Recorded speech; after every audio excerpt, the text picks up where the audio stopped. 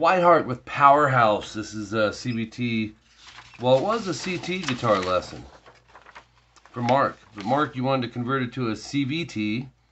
This is in standard tuning. You wanted all the solos. I forget who the guitar player was. The dude's a jammer. Is it like Steve Lukather or um, uh, the guy from Giant? Dan something. I can't remember.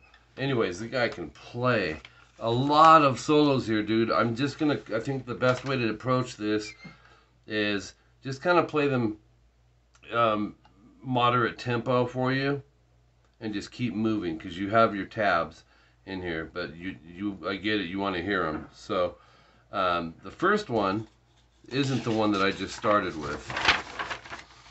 The, we got, I think, two solos, a main solo and then an outro solo that fades out. Um, is an F sharp minor. 256 is our timestamp. Our first one is this.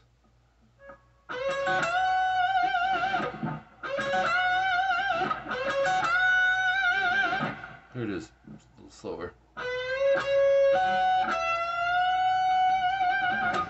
Here's the next one. And watch your picking.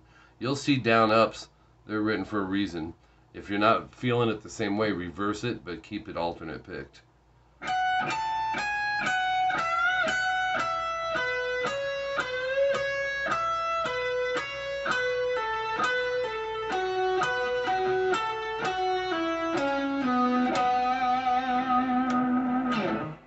A long one, man. But I would break it into fours or eights.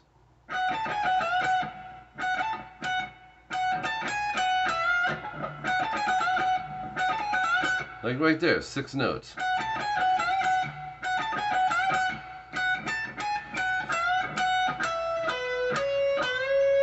There's your next four.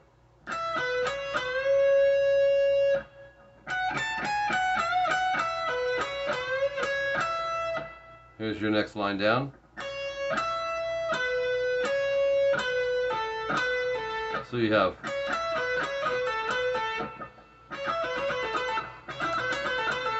Here's your next one. Think of a shift with the third finger. It's like a bar, but just making the knuckle move. 16 D G D, and then a 14 G, and that's down up down up. 16 pull 14 D, and then 16 slide 14 A.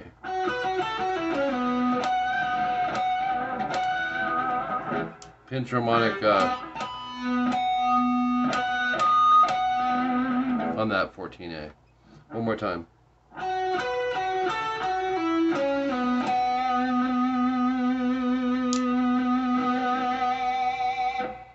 Um, 303 timestamp. You got this going on. And then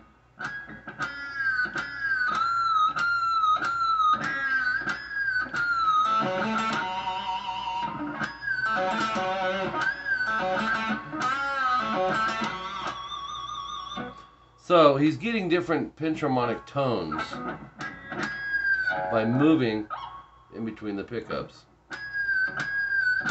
seven times. Release pull to two. Then here's your next one.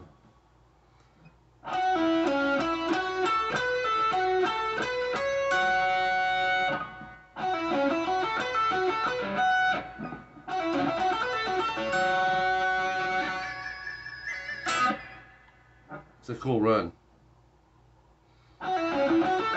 Think of this and doing that on the next strings. So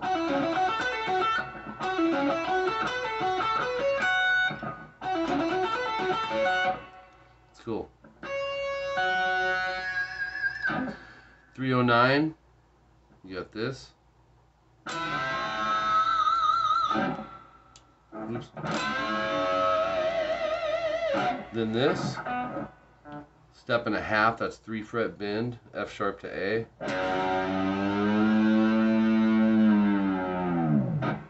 And then dive bomb it. 16E. Okay, here's your next run. It's a good little subgroup. Then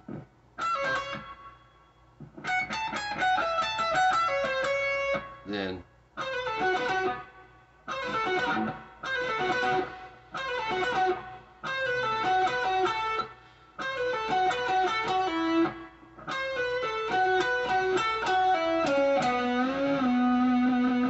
That's that one. 318. I think he finishes up the solo right here. It's cool. 16 18. Oops. And then uh, you'll go.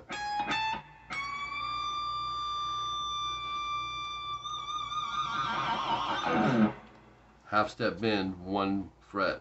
Step and a half, three frets. And if it doesn't say the fraction name, then it's a two fret bend, which is a whole step. Okay? Top of page three, 349 timestamp. This is the one I started this, uh, the, in, the intro of this lesson with. Here is slow.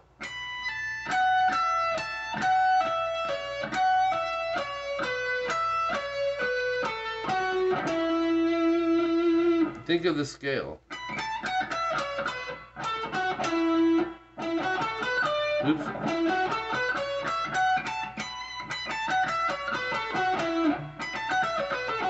Once you got the map of the scale, then just memorize the pattern. Right? Okay, then you're going to go 16, 14 DG, half bend.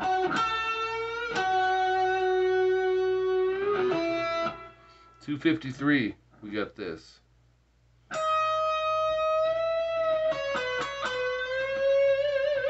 Again.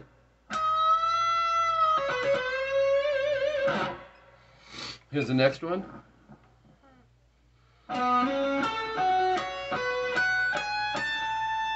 It's cool. Some string skipping. Here's your next one, arpeggio.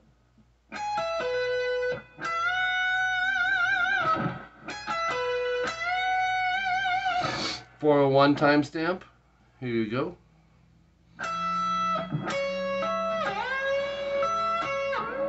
Oops, do that again. It's got some whammy in it.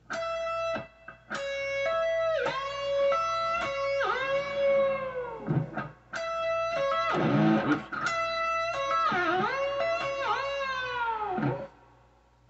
Next one. Oops. And then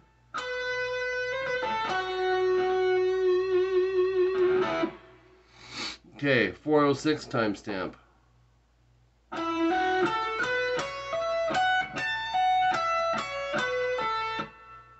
Do it up to there again. Then go. This is the last six. So.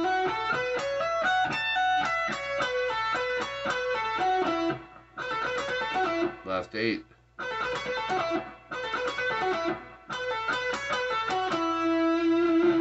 Next one.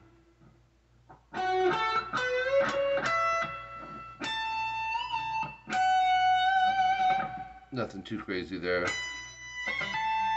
And then we go to the top of page four. 1917.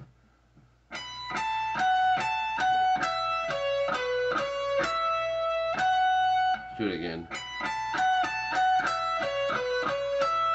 And then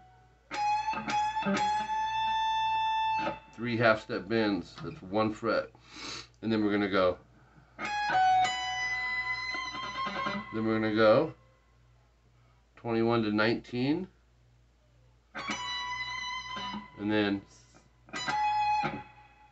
and then you'll see double dots here, 19 high E. You're going to go half step, bend, release, pull to 17 to 19B. Do that four times. Sounds like this.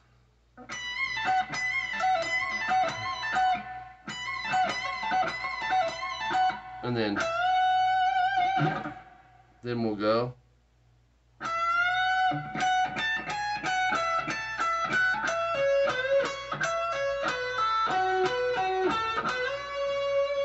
It's a great run. Let's do that again.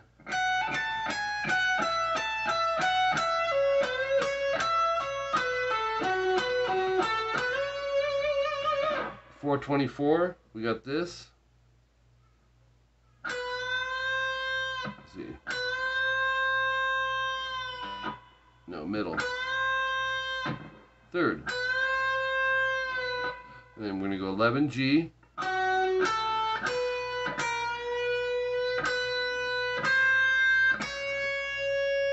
Coming down, descending now.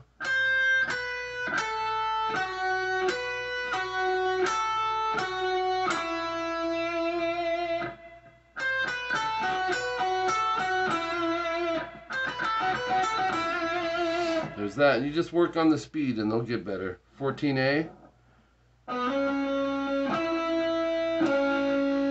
Let's see, middle finger. Yep. Twice. Okay, last line on bottom of page four. We've got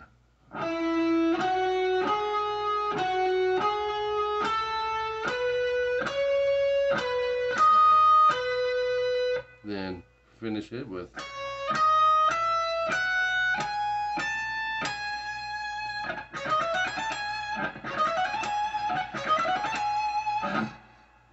Okay, top of page five. Actually, that might be the end of it. Yeah. We don't have five pages. We have four pages. So, let's back this up. Go to the bottom line of page four, and you've got this.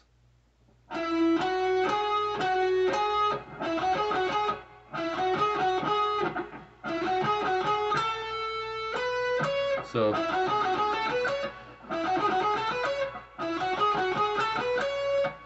see how I piece it? Then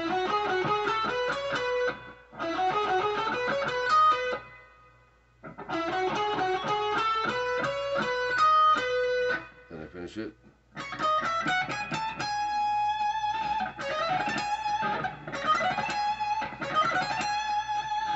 Anyways, um, tough stuff, man. This player is, you know, he's top shelf. There's no doubt about it.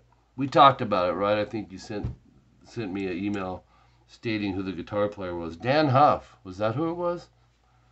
Anyways, sounds like him. All right, thanks a lot, man.